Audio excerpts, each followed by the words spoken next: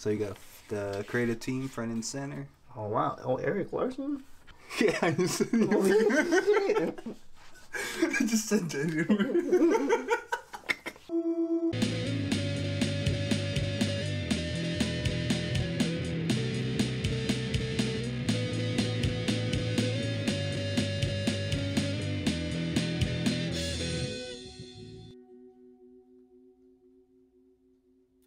What's up, YouTube? Hey, what's up, YouTube? Uh, good morning, good afternoon, good evening, and good night. And we appreciate you, however, whenever you're watching this, because we already know time is expensive. Hello, and thank you. We appreciate it. And uh, welcome to another episode of Creativity Unsheathed. I'm Oliver Siegel. And I'm Nino. And yes, we are brothers. Yes, we are. And uh, this is the show where we feel, If you find something that you're good at, try to be the best at it. for sure. That, that's that's a given. It may be hard, but look into yourself. And uh, speaking of uh, knowing what you're best at, what we're looking in today is Wolverine 145. 145. And uh, it is the uh, 25th Giant Size Anniversary Birthday Special. And you got the cover by Leinil Yu. Leinil Uh, Yu. And um, he's uh, he's uh, he has to be up there with Whilce Portacio. Like as far as one like the uh, like awesome Filipino like artists in, our, in our generation, Yeah. you know, because He mentored him, yeah. yeah, he found him. so he Oh, found you them, go. mentored him. He got him like able to like just get his feet wet and like get him in the Marvel, uh, in the Marvel doors. And Man, that's crazy. What if we found him like Arnel Pineda on YouTube? oh man, and then he called him like, hey, you want to work at, uh, uh, you know, what works? right, hey, man, it's like I I I, I love to like man, like find that out. so Wells was a mentor to Leinil Yu. Yeah, and he found him, and they was able to help him break in, and Yeah, did little Um, works. mhm, and uh, What inks or like pencils first? I'm not too sure, but um, there was a book he first started. It was I think it was something Aster, Aster Form, Aster Star, one of the, I, I, something within those lines. But that was Mhm. like his first book ever, and then he hopped on the Wolverine, and then from there he just worked up the ranks. And the story is written by Erik Larsen, and of course Lin Yu threw down the the pencils for this, and that looks fucking awesome, right? Yeah. Like little homage to Incredible Hulk, um, Number 340 340, right, with uh, Todd McFarlane on the cover with the with the blades. and Hulk in the, on the image. So yeah. almost almost dead on, but you know, with his own with Leinil with his own with own flavor. And you know, ever since I only knew about him when uh, when we got back into comics around uh, 05, 08, Yes. right? Yes. When um, the Ultimate lines came out. Ultimate Lines and he did that Ultimate uh, Hulk versus Wolverine, so he did that retelling. Yeah. And um, man, Secret Invasion. right? Yeah, that that being his big Yeah. right big event book, and Yeah. from there he just kind of been that it guy, and Yeah. working with Mark Millar doing Superior, uh, Super Crooks, Man. and and Mark Millar hooking them up pretty well, you know, make after Mark Millar make those deals with Netflix. So Set. So so. Leinil's good. He's sitting pretty. I think now he's just doing doing covers. Last thing I think he did was uh, a Captain America book Yeah. with uh oh uh yeah uh, Ta-Nehisi Coates. There you go, Yeah, yeah. like um yeah, I mean that's a weird story because it has it's Captain America and Nuke or an army of Nuke. But yeah, anyways. Hmm. But yeah, I mean it's cool to want to say he's like he's like one of the great Filipino artists up there with Tony uh, DeZuniga and you know, Alcala, Alfredo Alcala. Alcala, you know um And it's kind of cool, like thinking about like how Whilce did a line of X Factor and X Men, right? mhm, mhm. And then now Leinil, he did his own line, Secret Invasion. Like for a Filipino artist to have his own title line, yeah man that it's being like- the, the headline artist. and it's really I, I feel like it's really overshadowed and it's like barely even talked about But that you know that that goes that goes for every artist that's like been overlooked. You Mhm. know, like Dennis you know. But yeah, let's let's, let's look into this. Do it. Oh, what a waste of a double page spread. Oh man. Like the fold out. You, you figured like it would be a cool. his other arm, his other arm, right? his other claw, but it's this guy. Oh, like what is that? I don't want to buy that. Whatever. what a waste. Alright. So you got the creative team front and center.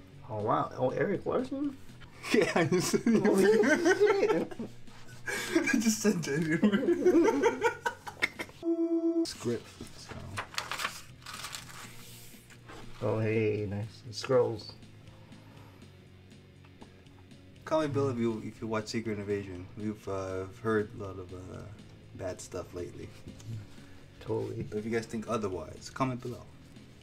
We don't have Disney Plus. Mixed reviews. Yeah. That's kind of cool though, huh? Scroll in the X Men universe. It's like if you look at the Secret Invasion, he it felt like he found his de- his his definitive look of how to draw. Mm. Like think his look for all of his characters now. Right, like like being on deadline style. So right? like now he's like really comfortable. I feel. 'Cause it's like really strong stuff, man.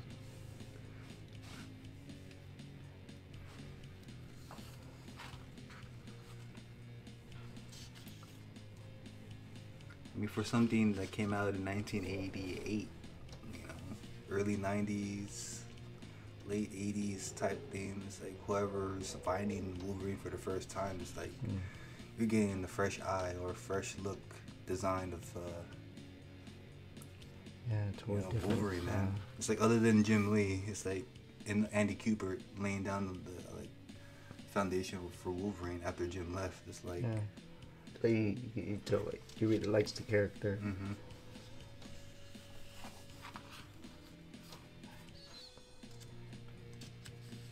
So this is death. it's it's like a little. It's kind of a weird story because we, I mean, we don't have the issues that lead up before this. But I mean, like for the anniversary special, I mean, it's like so far like it's two people trying to get Wolverine. So and then being the unstoppable, one of them is being the unstoppable Hulk, Mm. and then um, you get you get another one behind the murder looking to add uh, Logan or Wolverine to that mix. Mm. So I don't know how Death or if that's even Logan himself being being hypnotized or mind Mm. wiped by something, you know? Almost like Ninja Spawn, huh? Almost, yeah. Yeah. Close. So yeah, the- story's a little confusing. I mean, still knowing what lead, led up to it,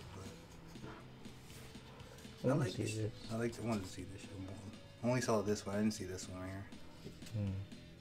It's not the Mighty Avengers. But it's be cool. West Coast? Yeah, I kind of fell off because I was just so used to the first series. Mm. Man, Look at his textures. yeah, man, he still does that today, so that's cool. Yeah. Remind me a little bit of Moebius, yeah. Moebius, a little bit of Frank Quitely. It's like even uh, Whilce would do this to too. So even I think with even Image or just being Homage and Wildstorm, it's Mhm. like they're gonna add those that little edge to it. This reminds me of uh, Mr. Dillon. Rest in peace. Like the Oh. way right here. Steve Dillon's uh, Yeah, Wolverine. Yeah. Oh Steve yeah. Dillon Wolverine. It took me a while to get used to Steve Dillon's art on Wolverine. Dinosaur. I remember you and I watched this. You took me to watch this. Oh man. Got a, like the exclusive uh, Mewtwo card. Oh came along with it. man. I forgot what theater that was. It was behind the Stonestown Mall. Oh, I don't okay, know, I, yeah, yeah, yeah. I don't know if uh, It's a UA, a yeah, UA. I don't know. If, course, obviously, they tore it down, but there is a new, new movie theater there now. Wow, man, that's crazy. That's see, that's a good alt. Right before he did the ultimate one. Yeah, man.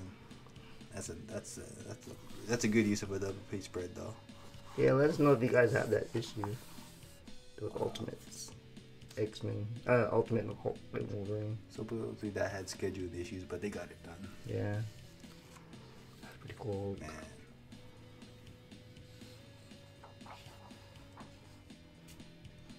Wow, yeah, that's, that's a good ass Hulk. Yeah. That's badass. It's like it's Yeah, like I like the face. It's like it's still his. Like it's his. You know what I mean? It's like Mhm. you won't see any other artists.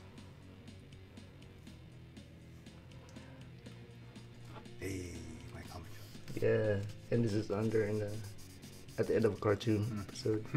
hey, Comic Wheel, if you guys use this service, Yeah, let us know what you think.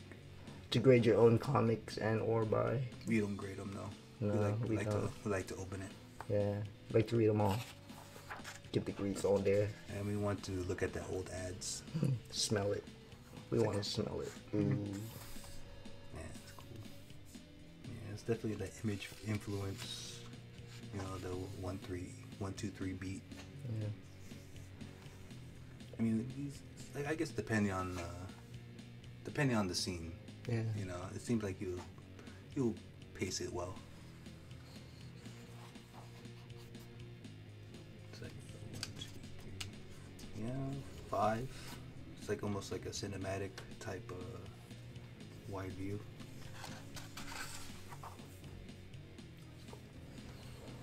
Hmm, that's cool. Oh, that's how they draw huh, on the upshot.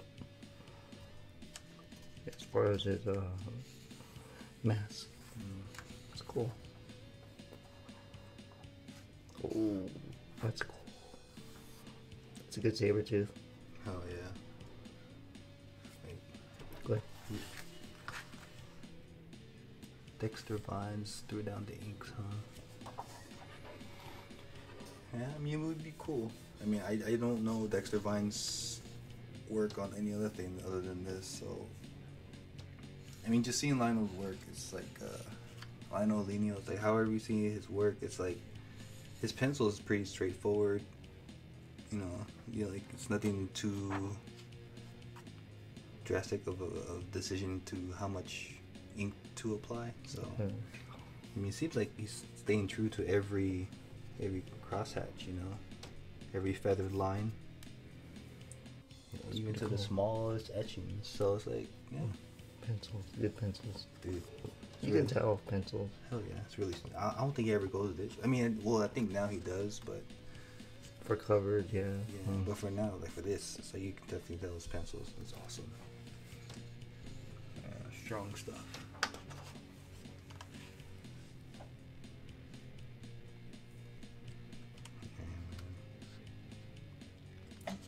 Wow, so it's as if it's Wolverine and Hulk again. Mhm. So I wonder if uh, if uh, Lino knew uh, Gerry uh, Alanguilan uh, during this time, because he was normally his uh, his go-to inker, Um, like for like for for s- most of his stuff. yeah, rest in peace, Gerry. Yeah, rest in peace, Gerry. So, I mean, it's like, yeah, it would been cool to see Gerry on like early Wolverine stuff.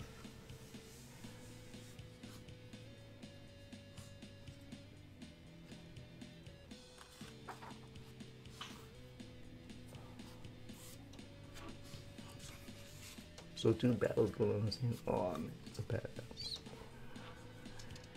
Man, Honestly, for me, I love Wolverine. Like he looks better in the brown and yellow suit.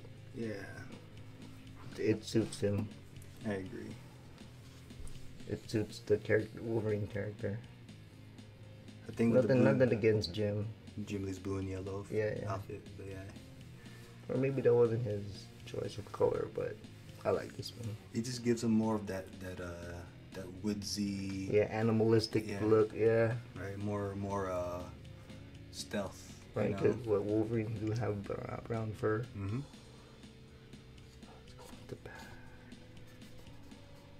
This is some nice glutes. Mm. He must work out.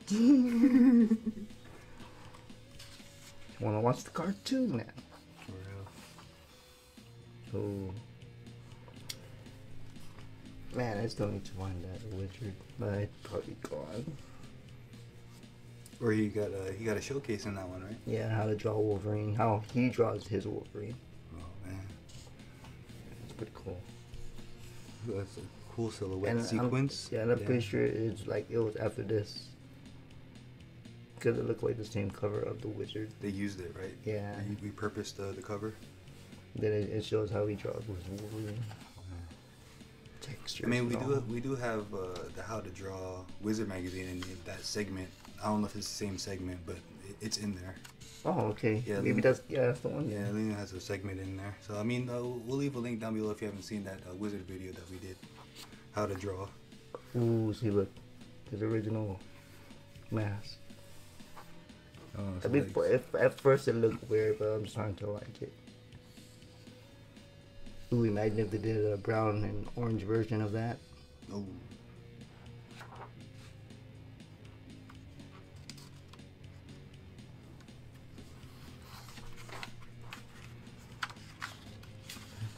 Cool.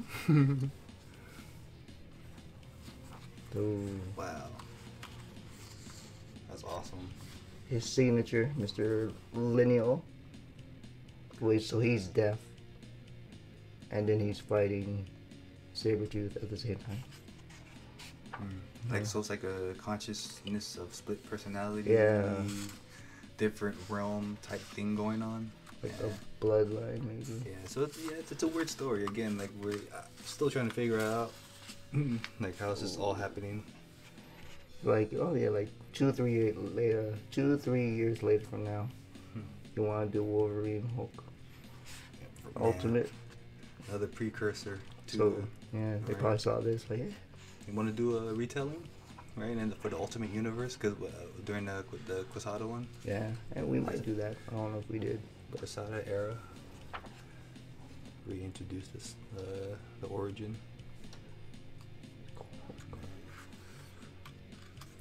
It's awesome. Man, it's like you really know it's, it's his, his own signature. Like I really don't see any other artist's Hulk in this. I mean, uh, uh, Wilson never touched Hulk. yeah. You know, yeah. Jim Lee barely touched Hulk. I think. Oh no, So- not even. So to get an influence somewhere, I don't know who, but man, it's like really, man, it's just really know that's his own touch. It's awesome. I really want to get this storyline, the trade or whatever. Age of Apocalypse. Yeah, I want to get. I want to read it. It's like it feels like. uh Yeah, that's just want to read it. All right. On the cutting edge. Sneak, sneak, y'all. That's Wolverine 145 for y'all. 25th anniversary issue. Yeah. So if you guys are a fan of Wolverine, and It's a little weird story, but it's it's it's as if it's like the origin of Hulk and Wolverine, Yeah, definitely. but on another universe and realm. Yeah, and it's uh, it's cool to see um, Erik Larsen's writing chops. Maybe writing is not his strong suit, Yeah, I don't know. agree. but I Or mean- maybe not that character. Maybe just Yeah. old Savage Dragon.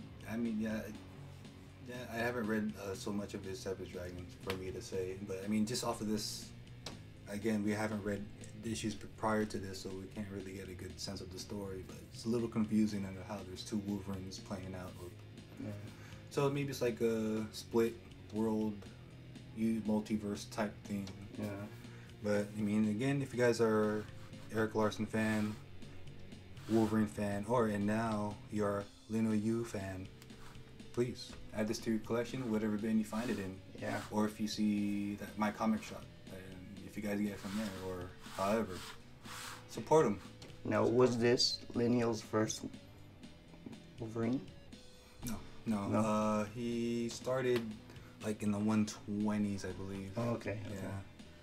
So, he, he was getting there then. Yeah, so uh, like he looked like he was really getting comfortable with drawing Wolverine, which Yeah. you know, which led up to Ultimate Wolverine, yeah. Hulk. You Mhm. know, so um, I would like to get that run at least just to see that uh, you know his process. But Mm. it's like he, you can definitely see like he was comfortable now. It's totally Yeah. cool. So yeah, Pick it up, guys. pick it up if you ever find it. This is like really iconic, I think. It's pretty cool cover. Yeah. So yeah, we're gonna end this segment with a motivational quote for y'all. And uh, this one is by Johann von Herder, and he's a literary critic and philosopher. And he states, "Nobody can contribute to the best of humanity who does not make the best out of himself." Ooh. and that goes well Yeah. with Wolverine. You know, he what's that saying that Chris Claremont created, Uh, he's the best there is at what he does. right? And um, I mean, just out of what the 25th anniversary, his birthday, every issue here, it's like, you know, it kind of just proven that. And Yeah. up to this day, everyone knows X Men because of Wolverine. Yeah. You know, he didn't have the first X Men movie without having Wolverine or Hugh Jackman, and it's like, It's like there's a reason they actually put him in the first movie. yeah. So you know, it's like X Men is X Men, but it's like people don't know it without Wolverine and the fan favorite. But you know, it's cool to see Leinil Yu's touch on this and kind of give a fresh take, or fresh eyes of not just Jim Lee's Wolverine. You know what I mean? It's always getting the, the shine. Yeah, know? yeah.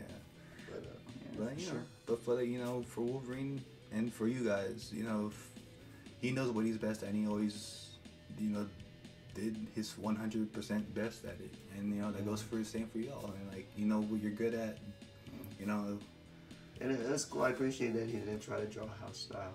right, right. Like he, um, I'm, I'm pretty sure maybe in the beginning just Yeah. to get his feet wet, get warmed up, and then Mhm. but now like again in this one, it seemed like he it was cool. his, uh, his.